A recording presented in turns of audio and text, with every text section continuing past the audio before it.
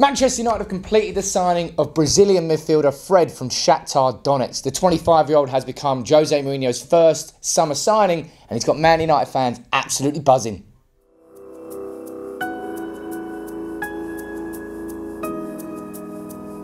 So Fred really is a red. Man United have completed the signing, as I said, of the 25-year-old Brazilian midfielder from Shakhtar Donetsk in a deal worth upwards of 50 million. He becomes Mourinho's first major summer signing. And for Man United fans who wanted a central midfield reinforcement, we have got it in Fred. Now, the Brazilian was previously more of an attacking midfielder, but got made into a defensive midfielder. Don't worry. Let's hope it's not Anderson part two. I know, but Fred has really taken to that defensive midfield role, often referred to as a similar player to Fernandinho. He's a dynamic midfielder who's got a good passing range, a great engine, fantastic in the tackle, can score a few goals occasionally as well, but his main priority is a defensive midfielder. And it looks like he's going to line up alongside Nemanja Matic, hopefully those two alongside each other with Paul Pogba just in front. And at five foot six, he's pretty damn small. And for Jose Mourinho, that makes a bit of a shift. Look at the signings he's already made Matic, Lukaku, Pogba.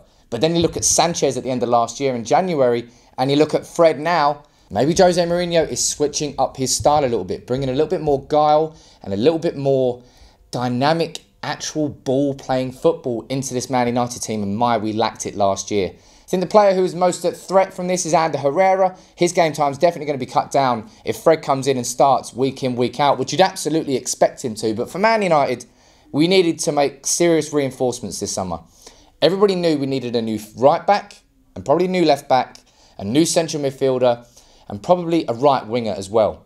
Now, it looks like Diogo Dalot is going to be the second signing, a new right back reinforcement to support Antonio Valencia, and Fred is going to be the first signing, is the first signing, a new central midfielder. And for me, I'm excited by that because take a look at the 99 Champions League final. Man United didn't have Keane in there. We didn't have Scholes in there.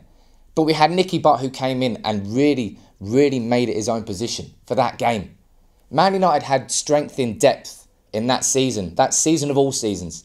And United lacked that, lacked that depth last year. We really, really did. And to bring someone like Fred in Maybe he's not going to play every single week. Maybe Ander Herrera will still start games. But it means we've got great depth in options there. And that was a real weakness last year. When Matic went out of form, Man United really didn't have a defensive midfielder who could do the job without him there.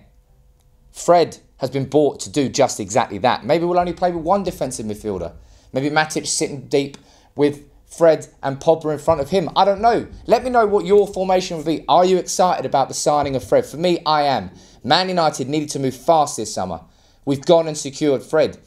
Man City were very much interested in him when he played well against them in the Champions League, but it's Red that he has chosen. It's Man United he has chosen. Welcome to Man United, Fred. Let me know how you're feeling in the comments below.